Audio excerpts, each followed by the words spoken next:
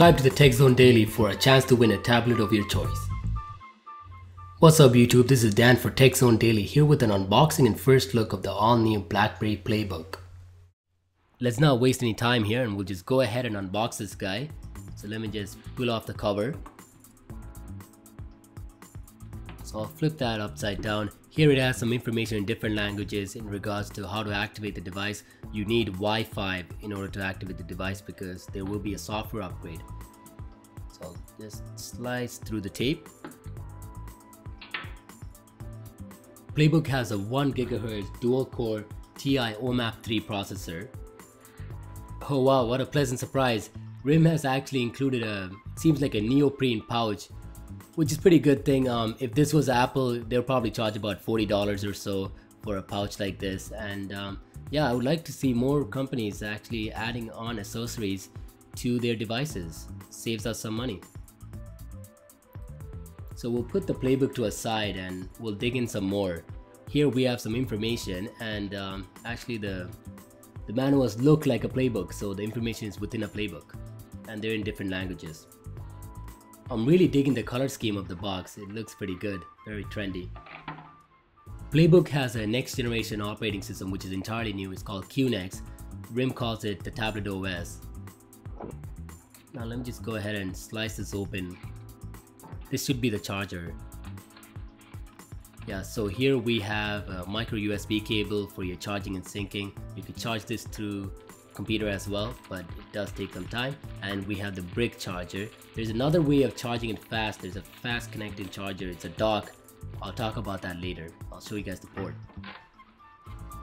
And finally, let's see what we have inside here. So here we have um, other manuals that we would never read and also a cleaning cloth. The playbook has a very industrial look to it, very minimalistic, it has some weight to it, it is packing a punch with the 7 inch form factor. I really like the back, it has a soft mesh plastic, it really feels good in the hand. That was just a brief first impression, look forward to a video review soon. Now let me give you guys a quick hardware tour. So at the top we have the ambient light sensor and the 3 megapixel front facing camera which can do 1080p HD video recording. Playbook has a 7 inch capacitive touchscreen with a pixel density of 1024 by 600 it has an HD ratio. On either side we have the speaker grills which seem to be flushed in so it gives it a minimalistic look. The bezel around the screen is touch sensitive so you can command different gestures by just swiping up and down. It's a very intuitive way to interact with the OS. One prime example of this is just to awaken your playbook with a swipe of your finger. At the top we have the power button which is kinda small but you don't necessarily need to use this to turn on the device. If it's asleep, you can just swipe your finger as I showed you. Right beside it we have the volume up and down rocker and in between it we have the pause slash play. You can actually press both the volume buttons to get a screenshot. And finally at the end we have a 3.5mm headphone jack.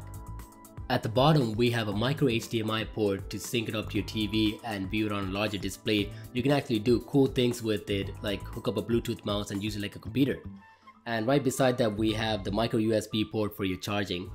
Finally we have the proprietary rapid charging port which costs about $60 for the dock and it should charge less than half the time it would take on a conventional method. At the back of the device we have the 5 megapixel HD camera 1080p HD with 30 frames per second which is pretty good and a simple BlackBerry logo. Just for a size comparison, I brought along some of the competing tablets out in the market, a Motorola Xoom and an iPad 2 I'll place the playbook on top.